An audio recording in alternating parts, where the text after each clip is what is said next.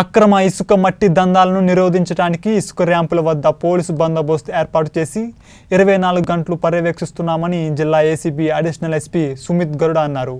జిల్లాలో ఇప్పటివరకు డెబ్బై రెండు కేసులు నమోదు చేసి ఎనభై రెండు వాహనాలు సీజ్ చేయడం జరిగిందని తెలిపారు. అక్రమ మట్టి ఇసుక దందాకు పాల్పడే వారిపై కఠిన చర్యలు తీసుకుంటామని హెచ్చరించారు.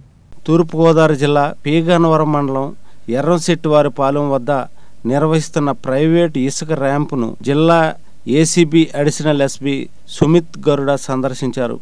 ఈ సందర్భంగా ఆయన మాట్లాడుతూ జిల్లా ఎస్పీ నయీం అద్నా నజ్మీ ఆదేశాల మేరకు అమలాపురం డివిజన్ పరిధిలో నిర్వహిస్తున్న కొత్తపేట ఎర్రంశెట్టిపాలెం ఇసుక ర్యాంపులను సందర్శించడం జరిగిందన్నారు. ఈ కార్యక్రమంలో మాసూమ్ భాష కృష్ణ హరీష్ కుమార్ సత్యనారాయణ పాల్గొన్నారు. అద్నాన్ గారి ఆదేశాల మేరకు నేను Sumit Garud additional SP SCB తర్వాత భాష గారు ఎస్డిపిఓ అమలాపురం గారు. ఈరోజు ఒక ప్రోగ్రామ్ కండక్ట్ చేయడం జరిగింది కొత్తపేటలో. అక్కడ ప్రోగ్రామ్ తర్వాత ఈరోజు గన్నవరం ర్యాంప్లు కూడా చెక్ చేయడం జరిగింది. సో మొత్తం ఎస్సీబీ ఆధ్వర్యంలో mainly Amalapuram constituency Amalapuram sub డివిజన్లో ఏ ఏ ఇసుక ర్యాంపులు ఉన్నాయి అక్కడ పక్కడబందిగా మేము బందోబస్తులు ఏర్పాటు చేశాము. తర్వాత ఇల్లీగల్ శాండ్ ట్రాన్స్పోర్ట్ కానీ ఇల్లీగల్ శాండ్ ఎక్స్కవేషన్ కానీ వాళ్ళ మీద మేము రేడ్ చేస్తున్నాము. డిఎస్పి గారు ఆధ్వర్యంలో చాలా స్పెషల్ టీమ్స్ తిరుగుతున్నాయి ప్రతి ర్యాంప్లు కూడా నిఘా పెడుతున్నాము.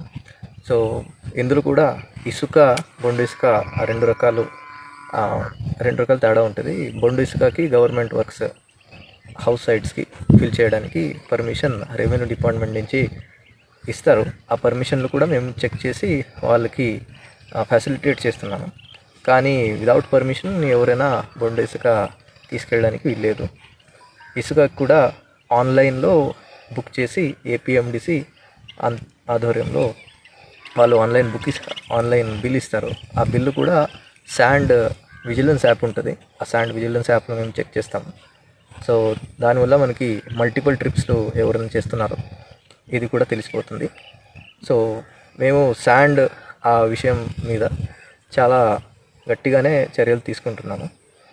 వీలైతే ఎవరికైనా ఇల్లీగల్ శాండ్ గురించి ఇన్ఫర్మేషన్ వస్తే ఆ ఇన్ఫర్మేషన్ వస్తే మనకి పాస్ ఆన్ చేయండి మేము చర్యలు తీసుకుంటాం.